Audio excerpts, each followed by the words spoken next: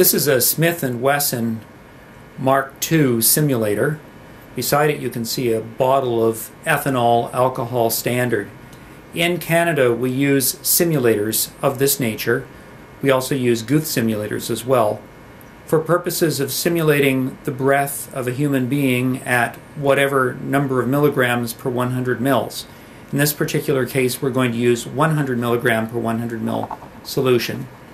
You can see it comes in a 500 ml bottle, has clearly marked on the bottle what its target value is, in this case 100 milligrams per 100 mils.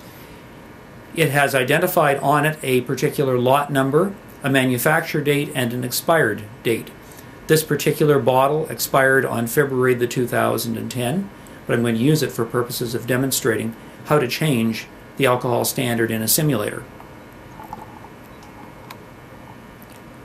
One of the challenges in changing the solution in, an, in a simulator is, first of all, to make sure that you can get the jar off the metal housing. Sometimes the housing gets stuck to the jar because the gasket on the inside is worn, maybe it's an old simulator, and sometimes as a result of that, the glass tends to crack.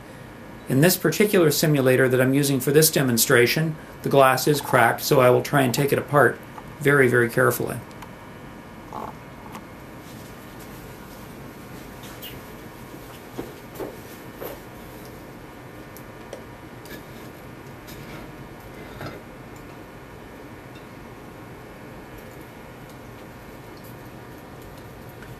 As you can see, there's always some dripping that takes place when you remove the simulator from the jar. Uh, in this particular case, the simulator is an old one. It has a little bit of corrosion. The rubber ring is worn.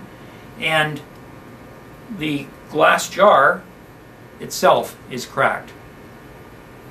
I'm going to take the jar out and dump it and be right back.